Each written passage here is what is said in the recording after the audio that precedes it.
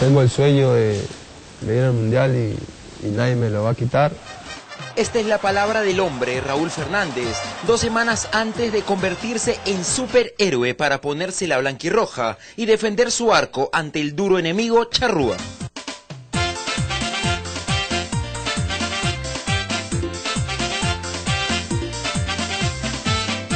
Domingo al día viajó hasta Los Ángeles, California, para tener un mano a mano con el arquero del momento en los Estados Unidos.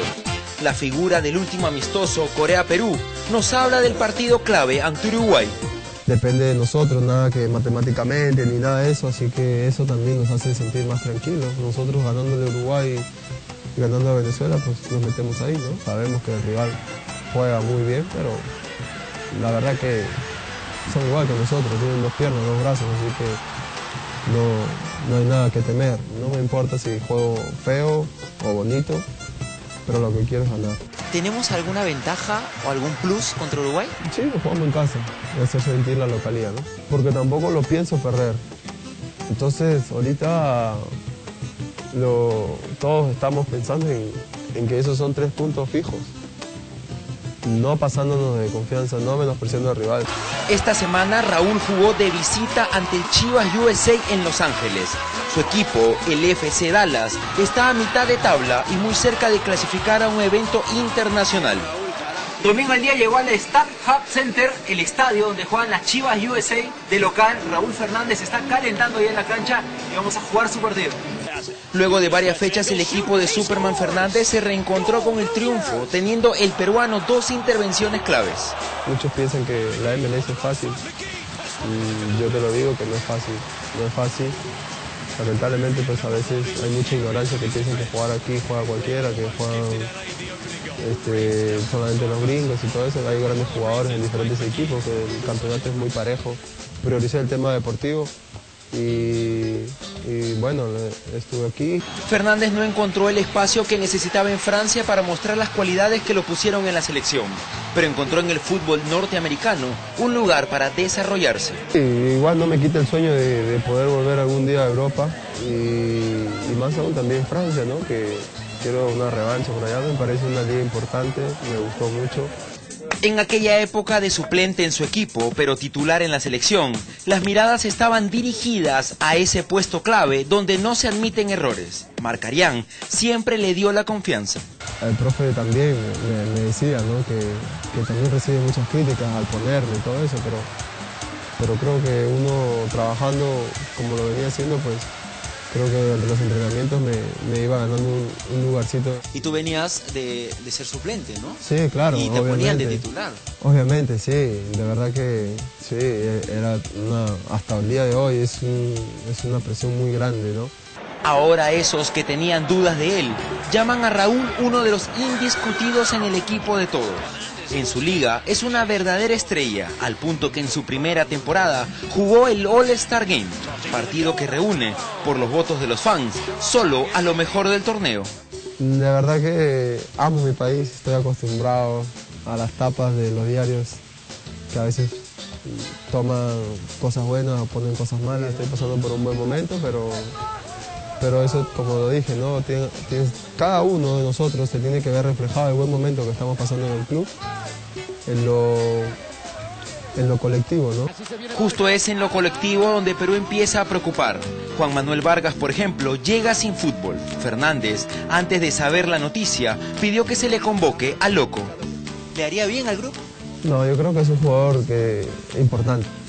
No, estás hablando de como que este, no sé, no, yo creo que es un jugador importante en la cual ahorita, pues, como yo, no estuve jugando. Entonces, igual, me parece que, que se le merece, hay que respetarlo igual, ¿no? Por más que no esté jugando, por más que salgan y digan que, que no va a jugar y todo, etcétera, hay que respetar porque, sí, el loco, el loco juega y mete dos goles y todo el mundo se, se va a agarrar y meter la lengua al bolsillo, ¿me entiendes? Entonces hay que, hay que respetar el fútbol, ¿eh? Lo lindo del fútbol es esto, ¿no? Que a veces dejas que las personas hablen mal de ti y cuando te toca, los callas. Así que eso es lo que nosotros como jugador disfrutamos, ¿sabes? Que a veces tanto todo el mundo que habla mal de ti, después hace dos, tres goles y para jugador pues está perfecto, ¿no? Cae a todo el mundo. Paolo Guerrero es otro de los que ha confesado no estar en un buen momento físico. No, él va a aparecer. Es, es así, es, es un monstruo jugando. Él, Jefferson, Claudio. Siempre, siempre. Y son jugadores importantes. En Estados Unidos no se concentra. Raúl anda de civil y solo almuerza con el resto de sus compañeros el día del partido. No tiene horarios restringidos ni boras prensa que los vigile y acuse. Que te dan la confianza, ¿no? Y ya depende de uno si cuida el puesto de trabajo o no.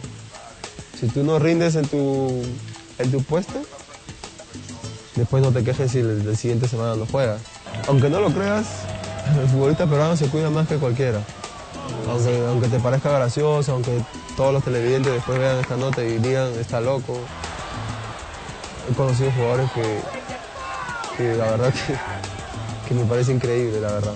Pero a veces la- los de aquí, como te digo, se van, se pasan de la raya. En cambio en Perú yo creo que los jugadores peruanos se cuidan más. Raúl Fernández es ahora padre de tres hermosos niños. Noah de cinco, Raúl Isaac de dos y Mía de tan solo un añito.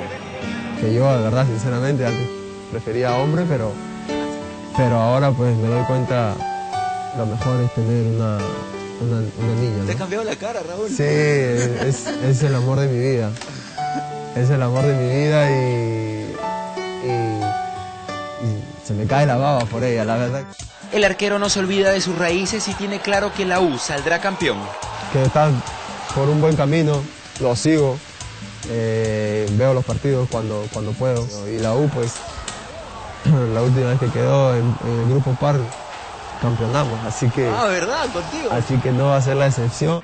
Raúl Fernández ya quiere jugar el Perú-Uruguay del 6 de septiembre, pero lo que más desea es llegar a la videna y vivir los momentos previos. Pero ya te toca bailar, ¿no? En esa No, hay que dejar, hay que dejar las cabras así, que, ba- que baile Claudio, que baile los que siguen bailando, que baile Joel, Ah, que ya. baile eso, ellos para, para seguir así, de repente hacemos un cambio, no, no. que siga bailando Claudio, que, lo, que Paseo Blanco lo está haciendo bien, la verdad. Así Está que para el show de los sueños de Gisela. ¿no? ya depende, de, depende de él si, si decide, ¿no? Pero, pero sí, sorprendió a todos, sorprendió a todos, porque todos decían, bueno, el Blanco baila bien. El arquero de la selección pasa por un buen momento, al igual que muchos de los convocados. Es momento que los hinchas no solo se pongan la camiseta, sino que la suden y alienten hasta que se acabe el partido. Yo creo que sí, hay, hay, hay equipo, ¿no? Hay equipo. Hay equipo para, para jugar y, y llegar a un mundial, la verdad.